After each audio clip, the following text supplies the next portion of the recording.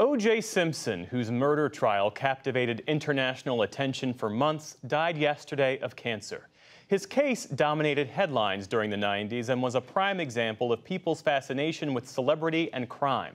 But the trial was about much more than that, highlighting major fissures in America and one whose legacy is still discussed some decades later. William Brangham has our look.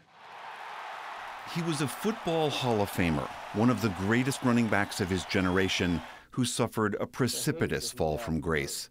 O.J. Simpson's legacy would forever be tarnished by the 1994 murders of his ex wife, Nicole Brown Simpson, and her friend, Ronald Goldman. They were repeatedly stabbed to death at her Los Angeles home, two years after the Simpsons divorced. O.J. Simpson was charged in their killings after blood was found in his home and on his car. Millions of Americans sat glued to their televisions, watching as Simpson fled in a white Ford Bronco on the Southern California freeway. Police trailed him for 60 miles. He was eventually arrested and put on trial. The country was similarly riveted by the nine month long televised proceedings, transfixed by the grisly details, allegations of domestic violence, and what would become iconic closing arguments. If it doesn't fit, you must acquit. It would eventually be dubbed the trial of the century. Was also one hell of a great football player. But he's still a murderer. The case also further exposed the racism inside the Los Angeles police force. All along, Simpson maintained his innocence, and he was ultimately acquitted. We, the jury, in the above entitled action, find the defendant Orenthal James Simpson not guilty of the crime of murder in violation of Penal Code Section 187. Two years later, a civil suit filed by the victims' families found Simpson liable for their deaths. Sold! His assets were seized, and he was ordered to pay over $33 million in damages. They were never fully paid. It was all a stark contrast to his younger days hailed as one of the nation's top athletes.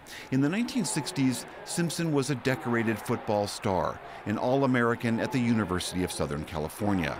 He was awarded the Heisman Trophy in 1968, and the next year, he was the number one draft pick taken by the Buffalo Bills, where he went on to play nine seasons and was a five time All Pro. Simpson parlayed his fame and trademark charm into a successful career on screen, most famously as the pitchman for Hertz rental cars in the 1970s. He went on to act on TV and in movies, like in the late 80s slapstick The Naked Gun.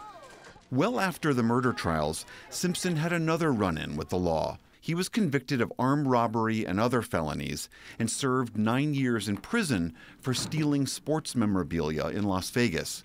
He claimed the goods had originally been stolen from him. I've done my time. I, I'd just like to get back to my family and friends, and believe it or not, I do have some real friends. Simpson's family said he died Wednesday after battling prostate cancer. O.J. Simpson was 76 years old. O.J. Simpson's trial and his initial acquittal was an enormous moment of reckoning for many, exposing another stark racial fissure in America. In particular, the chasm between how black and white Americans saw the police and the justice system. The trial also underscored glaring issues in how we view domestic violence, interracial marriage, and the growing culture of media celebrity. Dave Zirin wrote about all of this in a piece in The Nation today titled O.J. Simpson was a Rorschach test for America, and he joins me now. Dave Zirin, great to see you again on the NewsHour. You write in your piece, quote, if anyone had illusions that the United States was in fact united, the O.J. Simpson trial and subsequent verdict quickly put an end to that. Remind us what the country experienced that day when that not guilty verdict came down. Wow, I remember it like it was yesterday. Uh, that's how powerful a moment it was in the American psyche. And what it revealed is that this country could have one common experience watching this trial and draw entirely different conclusions from it. And it exposed that when it comes to the United States of America, there really is nothing united about it. White people experience, particularly the criminal justice system and police, one way, and Black people experience it in a different way. And out of that, you get a white opinion out of the O.J. Simpson verdict that this was one of the great injustices of the 20th century. that someone just got away literally with a double homicide. And then on the other side, uh, in Black America, there was an overwhelming belief that the police were corrupt, that O.J. Simpson was railroaded, and that the entire situation stank so much of racism and tainted testimony that there is no way there should have been a conviction. And so, therefore, the jury's decision was just. So, what it really revealed was that you can have a common experience, but then at the end of the day, it's viewed in entirely different ways based upon the color of your skin.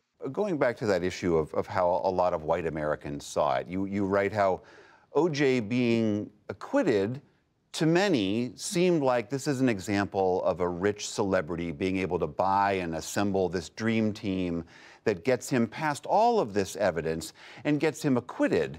Um, do you think that that is how a lot of people saw that?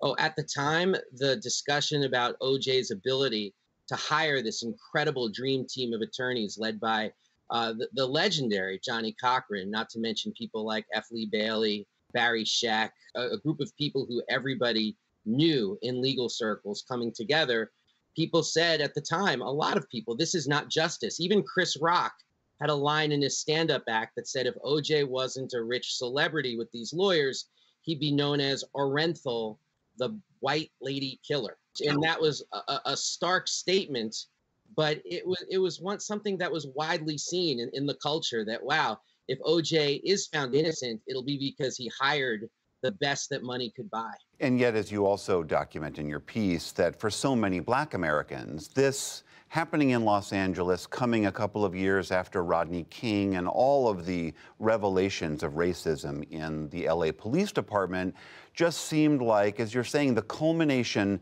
the sort of apex of, of racial animosity towards black people. Absolutely. I mean, in the police chief uh, the former police chief by 1995, Daryl Gates, there was a very militarized approach to policing in what were called anti gang initiatives uh, in the Black community.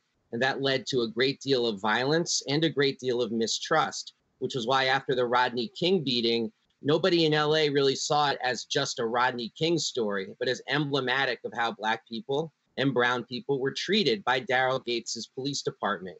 And that's just in 1992. So the city is actually still rebuilding by 1994 when the trial begins. And so it's not like it was some distant memory. It was part of a continuum for many people of a racist and out of control police department. And then when there were revelations in the trial of legitimate police misconduct, that only sealed the deal for a lot of folks who thought to themselves, I'm not sure if OJ Simpson can get a fair trial in the city and county of Los Angeles. Right, and this all comes, as you also write, that it's uh, ironic in a way that O.J. Simpson was the vehicle through which we start to even see this in its sharpest form, because all throughout his career, he sort of steadfastly refused to talk about what it was like to be a black man in America. Yes, O.J. consciously positioned himself commercially as somebody who would be different from civil rights figures uh, at the intersection of sports and black politics. People like Jim Brown, for example. O.J. Simpson was not going to be that. He was not going to be somebody who raised a fist on the medal stand at any ceremony. He was going to be O.J. Simpson. Like he liked to say to reporters very famously, I'm not black, I'm O.J. And positioning himself commercially that way meant that there was a great distance between O.J. Simpson and the black community. But as was said quite often in 1995, uh, when OJ was arrested and put on trial, that was when he and a lot of other people discovered that he was, in fact, a black man in the United States. Dave Zirin of The Nation, always great to talk to you. Thank you so much for talking with us. Thank you for having me.